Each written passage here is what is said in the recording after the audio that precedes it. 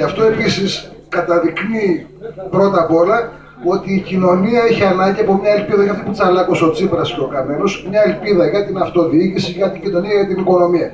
Άρα λοιπόν θα πάνε καλά τα πράγματα. Θέλω να συγχαρώ τη διοίκηση στην τοπική για αυτό που κάνει, να, συγχα... να τιμήσει τους διατελέσαντες προέδρους και πάνω απ' όλα να συγχαρεί και να βραβεύσει τον εκλειπώτη Πέτρο Τότη για την τόσα χρόνια προσφορά του στη Νέα Δημοκρατία. Θέλω να πιστεύω ότι του χρόνου τέτοια μέρα θα είναι η παράταξή μας στα κυβερνητικά έδρανα. Εμπρός στον αγώνα, η νίκη είναι κοντά. Χρόνια πολλά σε όλους.